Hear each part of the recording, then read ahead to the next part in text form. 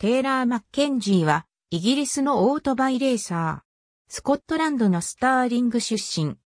2011年からロードレース世界選手権 125cc クラスにフル参戦を開始する。かつて同選手権で活躍したニール・マッケンジーの息子である。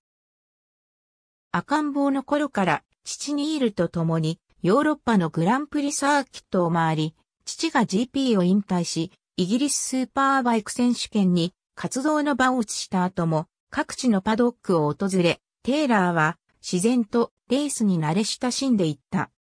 4歳の時、初めてのバイクとしてヤマハ PW50 に乗ったテイラーは2006年にはミニバイクレースを開始し、勝利を重ねていった。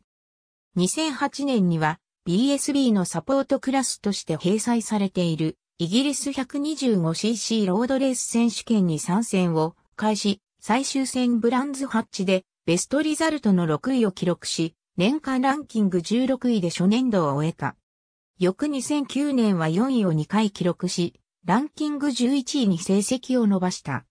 またこの年からロードレース世界選手権のサポートイベントであるレッドブルモートジッピールーキーズカップにも参戦を開始、年間ランキング20位を記録した。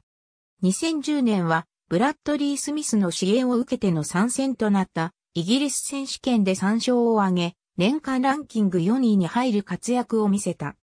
2年目のモートジッピールーキーズカップでもランキングを15位に伸ばした。